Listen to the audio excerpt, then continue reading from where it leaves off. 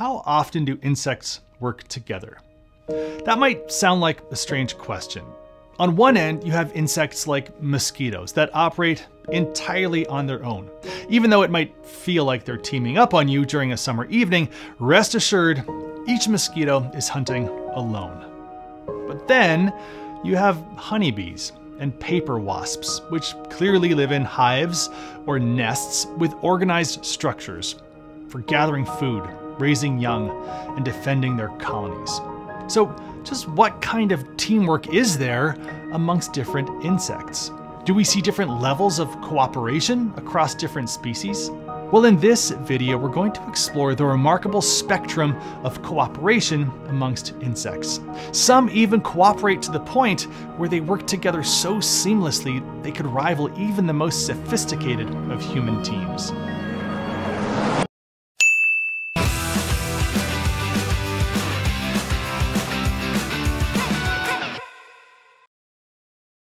Social behavior amongst insects is perhaps more common than you may think.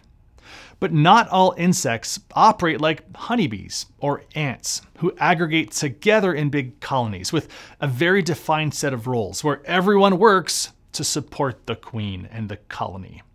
So let's take a look at the spectrum of social behavior in insects. At the very bottom level are insects that, well, aren't social at all solitary insects.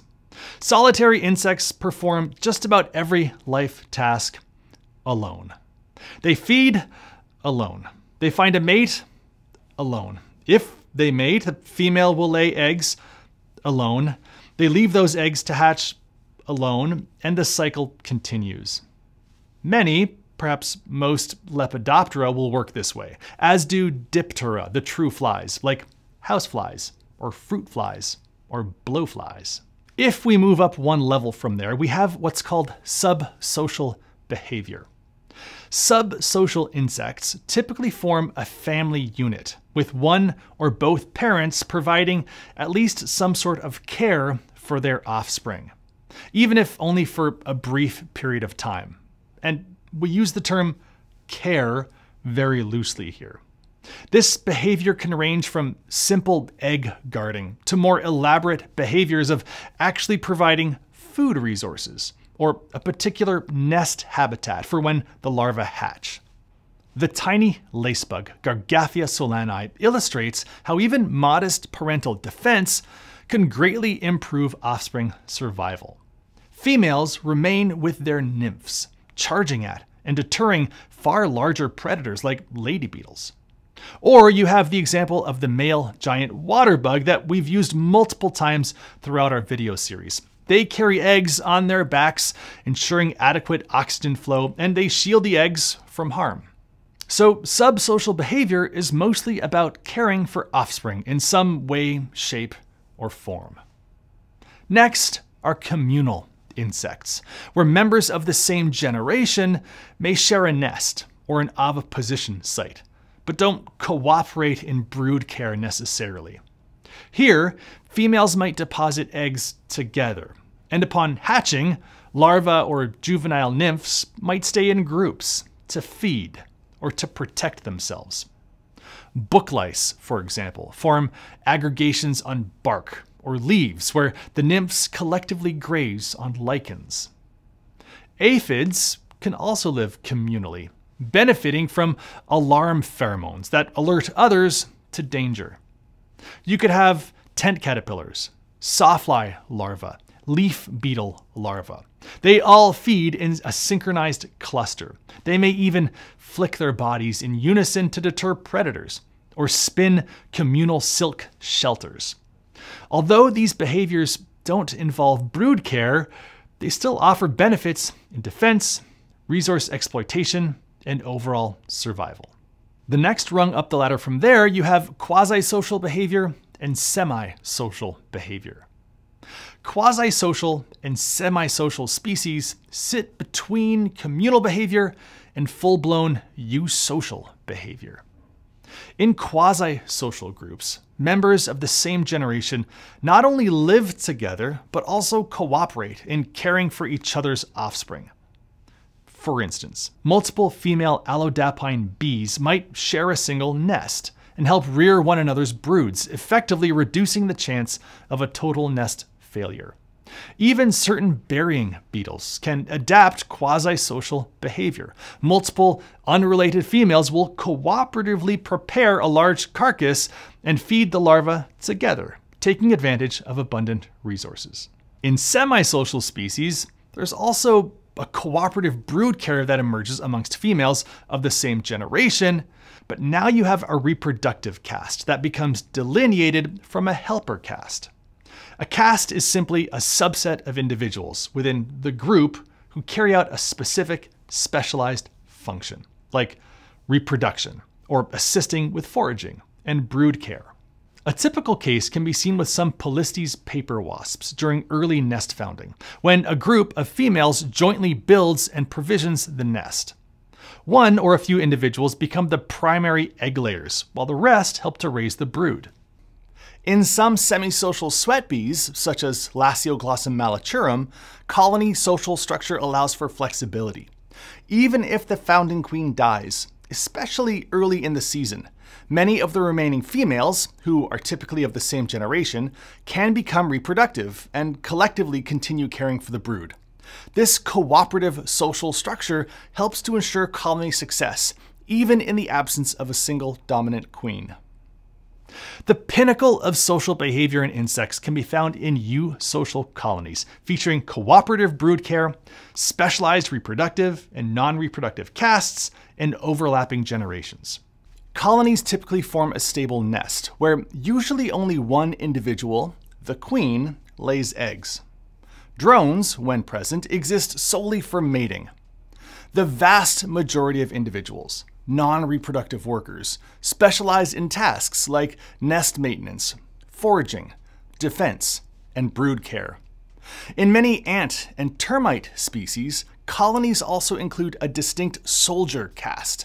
These are larger individuals with specialized morphology, such as enlarged mandibles or reinforced heads, adapted for defending the nest against intruders.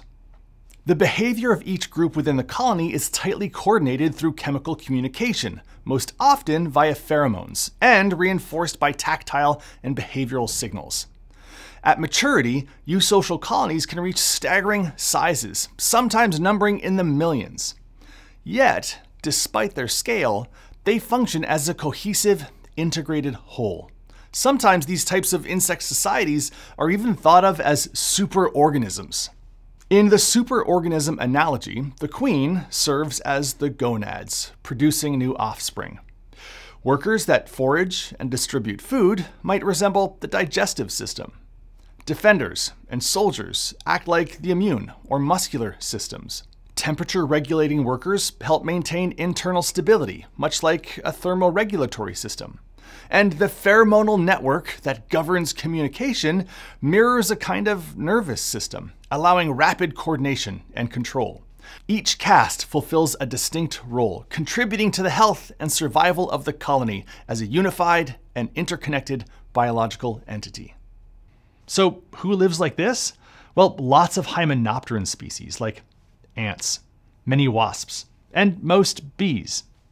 Beyond the Hymenoptera, Isoptera termites have similarly advanced societies, but their colonies have both a king and a queen in the colony's reproductive center. They then have various castes of workers that perform specialized functions. Interestingly, in a very different group, the aphids, some species develop soldier morphs that will defend the colony against predators, showing that elements of advanced social structure can appear in insects even without large permanent nests.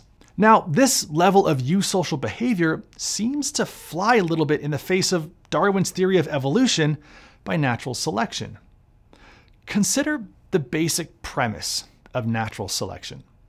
Traits are favored if they enhance an individual's ability to survive and pass on genes.